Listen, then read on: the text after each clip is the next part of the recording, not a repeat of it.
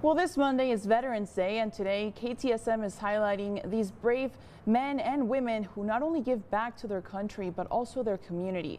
Dr. Carl Devemark is a trauma surgeon at Del Sol Medical Center. He graduated from the United States Air Force Academy back in 1999 with a degree in aeronautical engineering and a degree a dream to become a fighter pilot.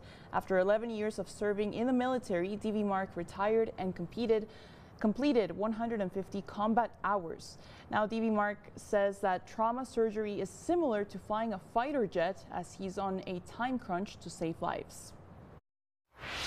Every action that you have depends on time, and if you make the wrong action, um, either you or your wingman dies in combat, in training, in the F 16, or vice versa in trauma, your patient can die or have a bad outcome.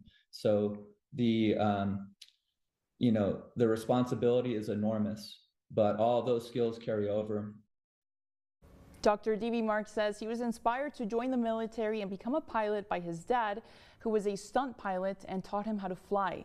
His brother currently serving in the Army and also served in the Marine Corps, and his grandfather also served in World War II, where he sadly lost his life. His mother is also an ICU nurse.